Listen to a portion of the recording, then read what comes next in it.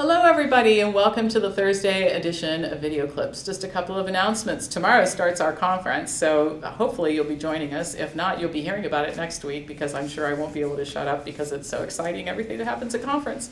But um, anyway, tomorrow's our conference, November 2nd through 4th, and then uh, next Wednesday, uh, November 7th, Conversations with Dr. Pam. We're going to give the guys equal attention and talk about PSA testing and prostate cancer. And of course, you can ask questions too, bring your good questions about diet, health, and medicine to that call. Okay, so I have two topics I want to talk about today, and the first one is vitamin D. And I've covered this a lot because it's an important issue in an area in which there is great misunderstanding. Um, and so you can read a lot about this in the Health Briefs online library if you choose to. But here is the issue. We have a lot of docs right now who are testing all their patients for vitamin D levels and prescribing sometimes, I think, dangerously high doses of vitamin D supplementation. And many of the patients who are getting these supplements already have what the Institute of Medicine has defined as normal vitamin D levels. Um, right now, between 20 and 30 nanograms per milliliter is a normal vitamin D level. So, a recent study published in the Journal of the, Amer- the, Journal of the American Medical Association showed that patients who took 100,000 international units of vitamin D monthly for 18 months developed the same number of respiratory infections as those who took a placebo. They experienced symptoms for just as long and they missed just as many days of work. Now, this is not the first time I've reported on a study that has shown that uh, massive doses of vitamin D don't seem to make a difference in a variety of different health outcomes. So here's how the study was structured. Patients taking vitamin D got 200,000 international units initially. Then 30 days later, they got another 200,000 international units. And then they took 100,000 international units every month for 18 months.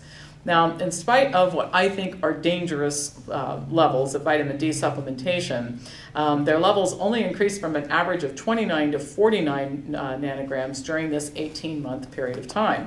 And so this actually documents a point that I've been making for a long time, which is that oral supplementation is a very inefficient way to raise vitamin D levels.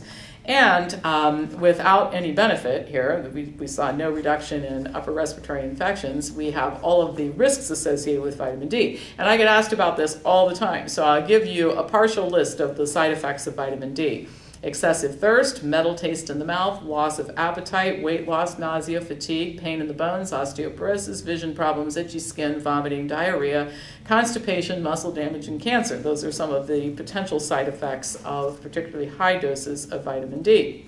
Now, what I found very interesting um, when a study like this comes out, that I know uh, really is um, going to be commented on by a lot of people, you can get on the internet, you can read what doctors are saying about it and blogs, and so I did that.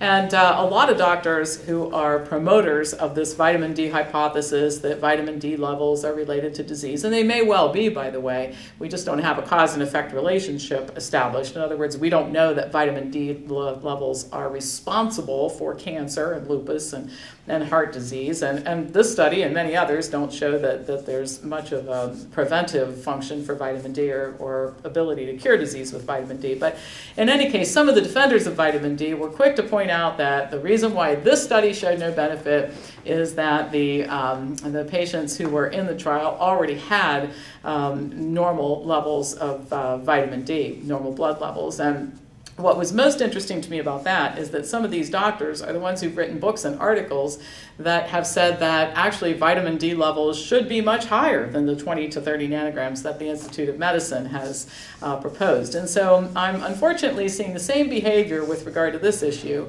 that we see with regard to mammography and uh, PSA testing and all kinds of procedures and drugs where when the evidence um, just shows that the party line is wrong, we just adjust the, um, uh, the storyline, we spin it uh, to make sure that the story still works with the with the new facts instead of just admitting that maybe it's time for a change in direction. So, in any case, I, I guess I'm just holding fast to this idea that I think we're making a big issue out of something that is not responsible for most of the disease that we're seeing, and I think we're inducing disease with these high doses of vitamin D.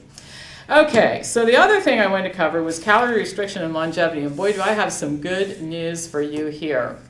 Um, I think most people don't like the idea of severe calorie restriction as a way to prolong life or improve health. And um, uh, but some people have been willing to adopt it because they really want to live for a long time. And, and I have to say, I love living, but I got to tell you something. I love eating too. And so I want to live a long, healthy life. But if I have to do it starving to death, I guess I just don't want to sign up for that program. I guess also, I really haven't seen any proof up until now that severe calorie restriction um, really would work in the sense of prolonging life. So, anyway, for, the, for those of us who love to eat, it doesn't appear that severe calorie restriction prolongs life. Um, this particular study was published on August 30th in the journal Nature, and it reported the findings of a 25 year study in which rhesus monkeys were fed 30% less calories than monkeys in a control group. Now, it was true that um, the 57 monkeys in the calorie restriction group had stronger hearts and immune systems and lower rates of diabetes, cancer, and other degenerative diseases than those monkeys who did not uh, have to practice calorie restriction, but they didn't live longer. And so, um, and, and in fact, in looking at the studies that have examined um, calorie restriction, I think study design is an issue. For example, a study published in 2009 showed that calorie restricted monkeys lived longer than their well fed counterparts, but the well fed monkeys were eating about 30% of their calories from sugar, so they weren't eating a very good diet. So um, I think one of the, the issues with calorie restriction, I've been saying this for a long time, is that if you calorie restrict, what goes out of the diet are a lot of animal foods and junk foods because those are calorie concentrated foods. And I think it's the benefit of getting those out of the diet that creates any positive effect. That's certainly what we saw with the monkey study less disease. Um, you know, stronger hearts and immune systems. So I think the actual benefit is the foods that are taken out of the diet, not calorie restriction. So, um, in any case, you know, my whole thing at Wellness Forum, when I started this company, I talked a lot about living longer, and I realized something early on.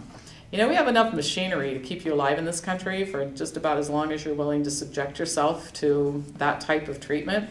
So people here live a long time. They just don't have very good quality of life. And so like the calorie restricted rhesus monkeys, if you eat a health promoting diet with those calorie dense foods gone, you know, the animal foods and the processed foods and junk foods and that sort of thing, if you really reduce or eliminate those foods, um, you can have a much better quality of life. And that's really what it's all about. I mean, however many years I'm going to be here, I, I don't get to decide that, but I just want them all to be great. You know, so I want to live and then I want to die. I don't want to spend a whole lot of time going into gradual degeneration, which is, I think, what most people do. So, um, if you're a person like me, I'm a foodie. I love to eat. I enjoy great food. And gosh, thank God I have our Chef Del here in the building, so I can eat really well all the time. Um, it isn't starvation that's going to help you. It really is choosing the right foods, and a well structured plant based diet can buy you the same quality of life without the calorie restriction. All right, that's it for today. I'll talk to you next week. As usual, feel free to pass this on to anybody who you think would benefit from watching it. Thank you for joining me today.